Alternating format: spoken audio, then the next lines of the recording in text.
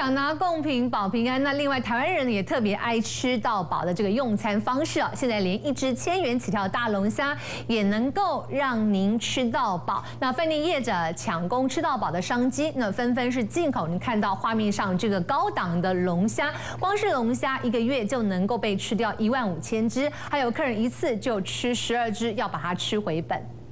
市价要价千元，比我手掌还大的大龙虾，现在也可以吃到饱。要用两只手才能举起活跳跳的新鲜龙虾，二十公分长，六百克重。煮出阿萨里的整只放进高汤煮入味。它生长在呃纬度比较高的地方，那那个水温就特别低，那所以导致它的肉质比较扎实。抓准十二分就起锅，煮到发红的龙虾一剥开来看，白嫩嫩的肉质超弹牙，想吃几只就几只。那也曾经有客人曾经吃到十二只的这个数量。